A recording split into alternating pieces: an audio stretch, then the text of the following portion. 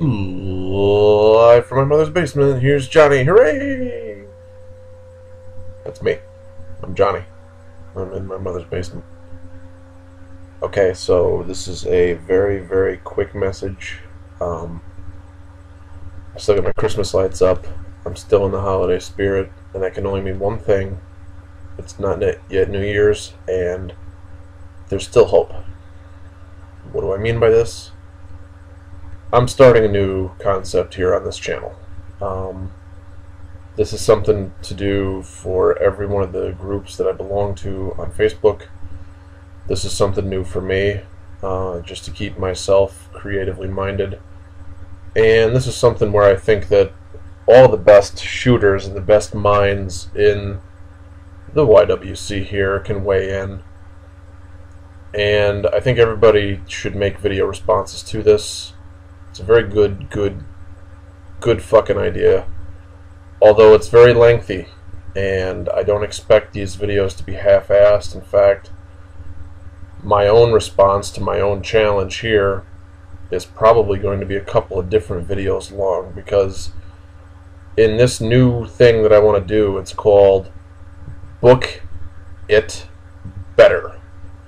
what I mean by that is we're going to take something that WWE has really let me down on in the past year, and essentially we're going to take from now the Royal Rumble coming up in 2013 all the way through Survivor Series. Okay, because these events haven't happened yet, and so it's really up in the air what you want to do with it.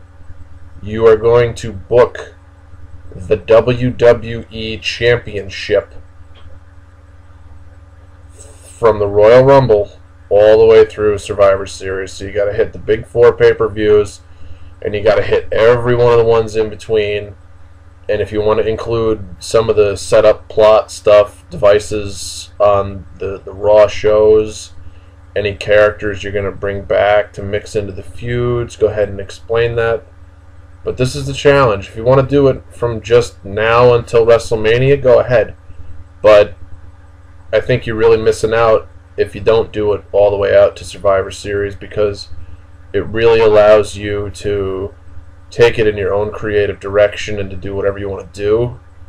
And it also tests can you remedy not having the same four guys in the title scene all the time and can you do something that's not just like, oh, well, we're going to turn this guy heel, that's going to be amazing, and it's going to save the product. Can you actually book it better than what WWE would do. And how would you do it? Who would you do it with? What kind of matches are they? Who wins? Who goes over? Be a booker.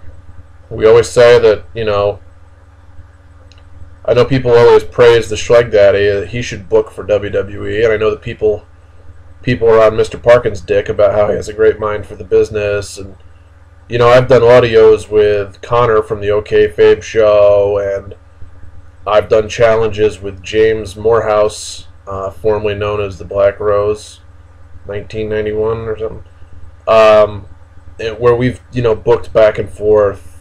This is for whoever wants to take part in it. You don't have to be one of those guys. You can just be yourself, but make a video response. It doesn't even have to have you in the video. Put pictures in it. Put a picture of Hulk Hogan. Say that he's coming back at WrestleMania. I don't care. You know, make it an audio file, but make it a video response so that I, I can at least hear you. You can have little visual diagrams. Put some fucking effort into this. And we'll see who, who actually does it the best here in the YWC. I think it's a great challenge. I think it's a great idea.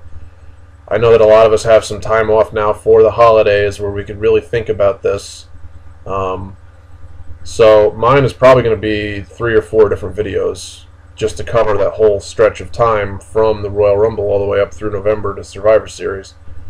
Um, but I think it's really going to be worth it. I think that it's going to be a real treat for you guys. I have been playing around in Microsoft Word now for a few hours trying to get ideas, and I've got from the Royal Rumble essentially all the way up through WrestleMania fleshed out, and it gives you some back subplots too, a lot of different things going around, a lot of different characters from WWE.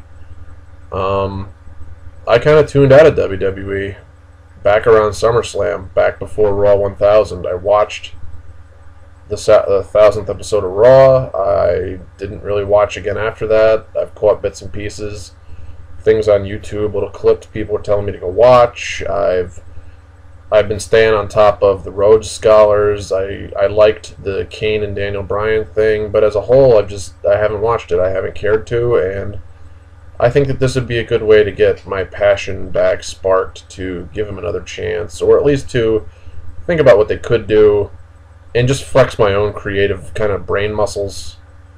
And maybe, just maybe, they'll take some of our ideas that we come up with and actually do some of this stuff to make it not the same guys always in the main event scene and whatever. So take this opportunity, this challenge I'm throwing out to you guys. Book the WWE Championship. I don't want you to book Cena. I don't want you to book Punk. I don't want you to book Austin, The Rock, Undertaker. Book the championship itself. And if you're going to introduce a bunch of different guys, you know, like maybe you have Jericho come back, maybe Scott Steiner comes in, I, whatever the hell you guys want to do make it make sense. Don't just have it from out of nowhere. Like tease it a little bit. Show how you would set up the shows, the pay per views, etc. What kind of matches they would be, who would go over, how they would go over.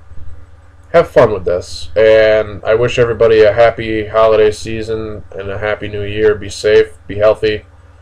I'm gonna go to the TNA live show here just tomorrow with my best friend Dan from DanTalksWrestling.com look for my reaction to that show as well as his write up of it um, on his blog and here on this YouTube channel also.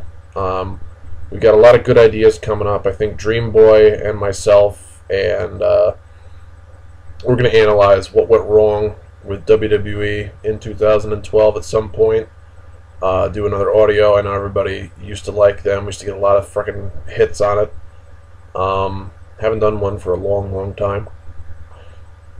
And I think that Dan and I are going to do an audio ourselves that compare the experience between the independent house show that was House of Hardcore that was in Poughkeepsie, New York, Tommy Dreamer's little thing he's got going there, um, the TNA live show that we're going to, and the WWE show that I went to uh, earlier in the, in the year in Hartford, Connecticut as well. So, lots of things coming up on this channel. Stay tuned. I hope that you guys you know, enjoy the next few videos to come.